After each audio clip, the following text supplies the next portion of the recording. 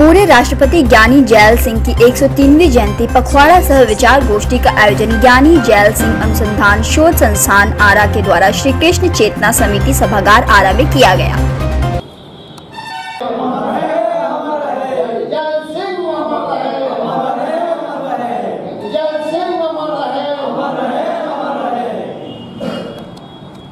आज पूर्व राष्ट्रपति ज्ञानी जय सिंह के 103वीं जयंती समारोह हम लोग मना रहे हैं। और यह कार्यक्रम ज्ञानी जय सिंह अनुसंधान एवं शोध संस्थान के बैनर तले मनाया जा रहा है। और हर साल की भांति हम लोग पूर्व राष्ट्रपति ज्ञानी जय सिंह के जयंती और पुण्यतिथि दोनों ही मनाते हैं। ज्ञानी जय सिंह बहुत ही गरीब परिवार में पैदा हुए थे और अपने संघर्ष, ईमानदारी और निष्ठा के बदौलत उन्होंने भारत का सर्वोच्च पद, राष्ट्रपति पद प्राप्त करके सुशोभित किया और समाज को मान सम्मान दिया।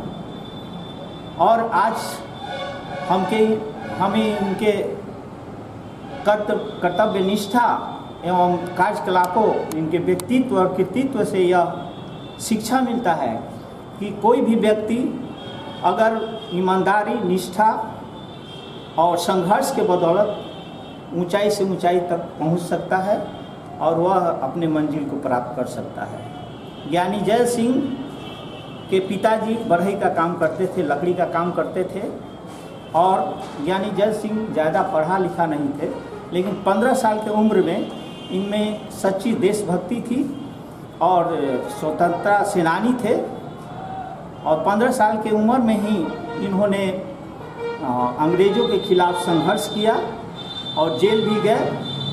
साथ ही साथ पढ़े लिखे कम थे, लेकिन इनमें गजब की देशभक्ति थी और उसी के बदौलत इन्होंने पंजाब का मुख्यमंत्री बने गृह मंत्री बने और फिर राष्ट्रपति बने।